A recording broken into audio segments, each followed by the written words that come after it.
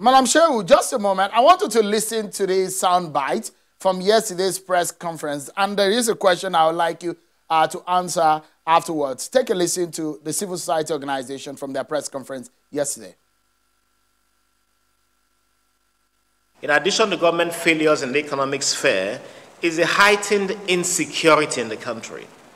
On a daily basis, communities, villages, and towns are attacked by bandits and insurgents and terrorists, with the security services unable to respond in any responsible manner.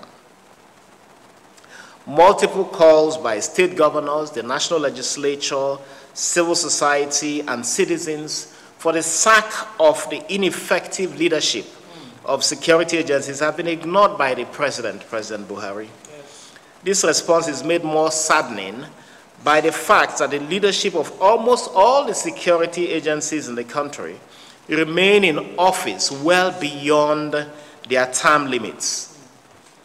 Human rights in the country remain under serious threat, with free speech and free expression constantly threatened. Situation calls for the following.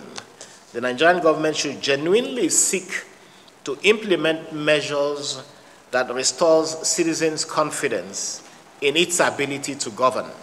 Uh, repeatedly, citizens, citizens groups, the National Assembly, state governors have called for attention to be paid to the nature and leadership of our security services, and the president has not done so. We call on the president to respect the Constitution, to ensure that security chiefs who have exceeded their terms of office are allowed to go in order that the security services can be made much more effective and efficient.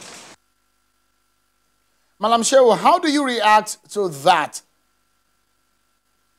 Well, let me say that whoever that spokesperson is, is a liar because uh, there is no section of the law that states a term of office for service chiefs. Please recall the recent interview by General Alani Akinrinade, one of the foremost military commanders in the country. He made clear in an interview that they serve at the pleasure of the president. If the president is happy, is satisfied with their performance, it's all up to him. Opinions can be expressed by people, and the fact, in fact, that this gentleman is sitting before cameras and dishing out a lot of these lies is also evidence that there is free speech in the country. Nothing more than this can prove that there is free expression and of free speech in the country. So the service chiefs matter has been politicized. The president determines who is service commander at his pleasure. Even the National Assembly can merely make recommendations. They cannot force the hand of the president on this matter. All responsibility ends at his table. These things are, are at, his, at his beck and call. So therefore, he determines if they continue in office or they stop.